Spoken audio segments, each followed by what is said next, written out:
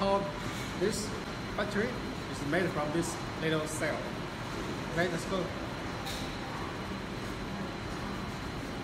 This is the first step of the whole procedure. This step is the purpose of this step is uh, to test the incoming cell material. That means uh, once we produce a bulk of the cells, we need to test the good and the bad cells. And uh, we use this machine to test the cells, which is called battery test system. And uh, there are two data need to be tested. The first one is the capacity of the cell, and the second data is the charge rate of the cell. And uh, like this, we will connect the cell here and use my software to test the cell.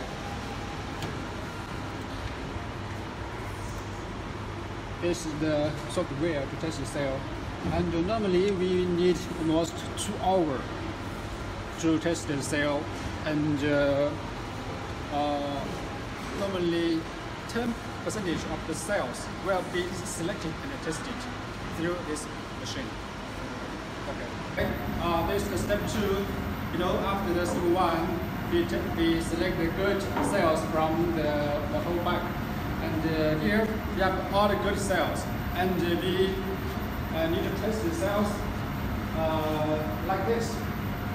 First, we charge the cell to 4.2 voltage to see the cell is good or, not, uh, good or bad. If the, if the cell cannot be charged to 4.2 voltage, then it will appear situation like this. Well, this defective cells like this. And then the cell will be discharged to 3.0 voltage. Till this procedure is called the process. Then we can see the cell is good, is good or bad. Like this. Okay, if after this uh, charge and discharge process, the cell is approval is good, then we will go to uh, next test stage. That means we will make sure that every cell of the battery, the weightage and the capacity is exactly the same to ensure the battery um, quality. And for the whole test procedure, we can uh, see on this software. You can see all the cell status can be seen on this software.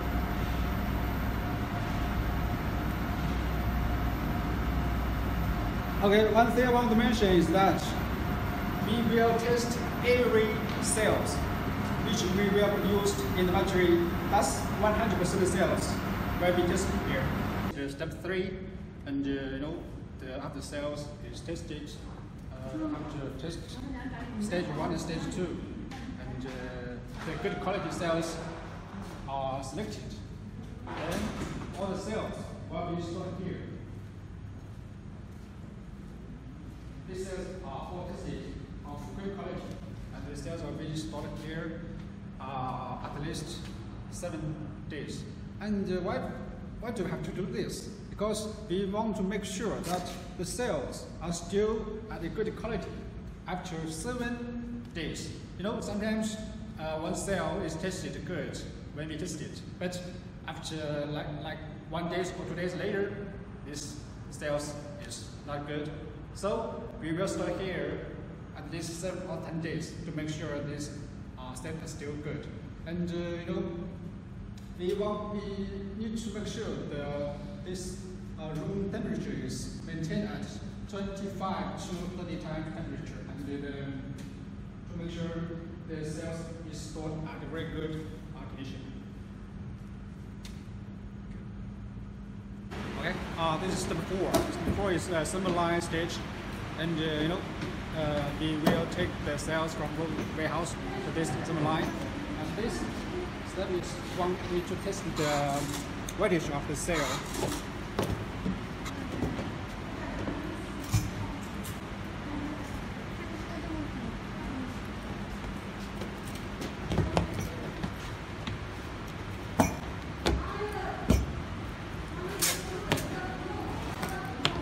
And we, want to make sure, you know, the wattage and the resistance of every cell in the battery is exactly the same to make sure this battery is at a good quality. The part is the soldering stage. And uh, this stage, the solder each cell. You know, the solder temperature is about 400, over 400 degree. And uh, so you need to solder every cell very fast, about one second.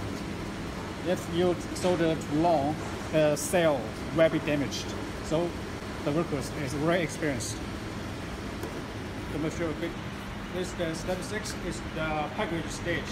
Here we will put some uh, glue here. Glue for between each cells. And this glue is anti-high temperature uh, uh, degree glue. And uh, the temperature point can reach up to 100 degree. Okay, after this anti-high temperature glue, and uh, we also need to put this tape on it to protect the cell.